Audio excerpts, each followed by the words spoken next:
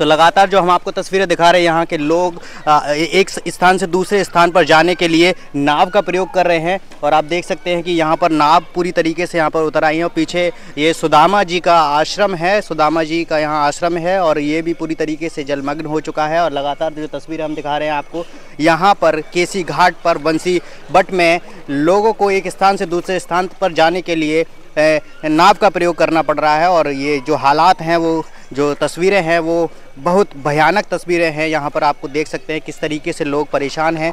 प्रशासन की ओर से लोगों को अलर्ट किया गया है कि ज़्यादा जो पानी में ना जाएँ, पानी का जलस्तर जहाँ ज़्यादा है, वहाँ पर ना जाएँ। और लगातार जो तस्वीरें हम आपको दिखा रहे हैं, वो काफ़ी भयानक तस्वीरें हैं। जैसे जैसे हम लोग आगे बढ़ते जा रहे हैं, वैसे वैसे आप देख सकते हैं कि जमुना का जल स्तर जो बढ़ता जा रहा है, आप देख सकते हैं मेरे कमर तक पानी आने वाला है और पीछे ये आश्रम है, ये पूरी तरीके से जलमग्न हो चुका है।